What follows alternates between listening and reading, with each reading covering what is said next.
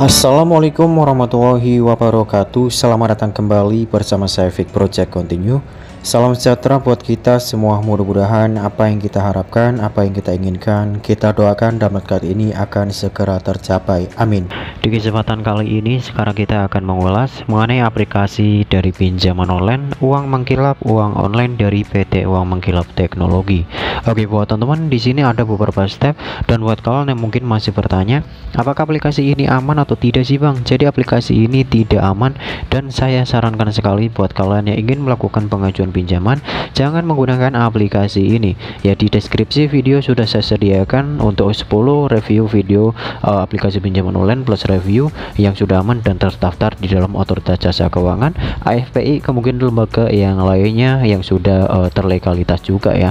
Dan untuk aplikasi dari uang menggilap ini adalah aplikasi yang belum terdaftar di OJK dan masih ke dalam kategori pinjaman online yang belum terdaftar ataupun ilegal. Untuk solusinya gimana Bang? Jadi ada beberapa step yang perlu kalian lakukan ini simpel sekali ya. Untuk pertama jika kalian ingin melakukan pengajuan disarankan sekali gunakan ponsel Android yang lain.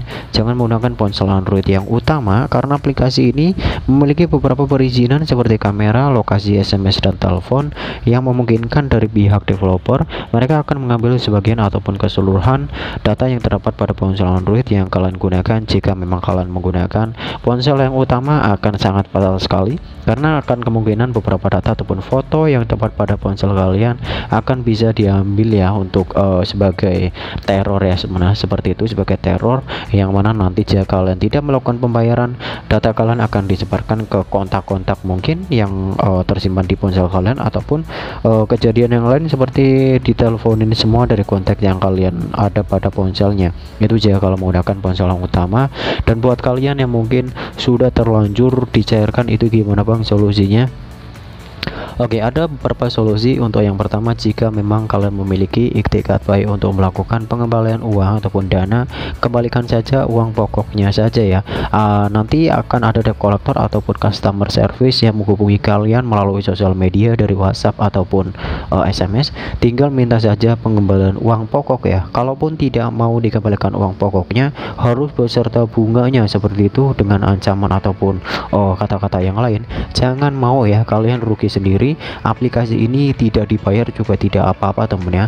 Aplikasi ini dari uang mengkilap tidak memiliki debt collector tidak akan memasukkan data kalian ke Slick OJK tidak akan memasukkan data kalian ke PI checking juga dan tidak memiliki debt collector. Dan aplikasi ini bakalan dihapus teman ya untuk ke depannya karena akan ada sidak tentunya dari Kemkominfo yang pasti akan melihat keseluruhan dari aktivitas uh, fintech ataupun P2P lending pinjaman online apakah ini terdaftar OJK ataupun tidak. Kalau terbukti terbukti tidak terdaftar di OJK sudah pastinya nanti akan dihapus dari platform uh, platform Play Store ya yang mana nanti akan dikehendaki dari Kemkominfo juga sesuai dari perundang-undangan yang mungkin ada. Oke jadi kesimpulannya sebelum saja tidak perlu membayar juga tidak apa-apa. Aplikasi ini hanya meneror dan untuk teror kurang lebih hanya ada 1 sampai 2 minggu dan itulah pengalaman yang saya miliki. Semoga informasi yang bermanfaat. Sampai jumpa kembali di video saya selanjutnya. Bye bye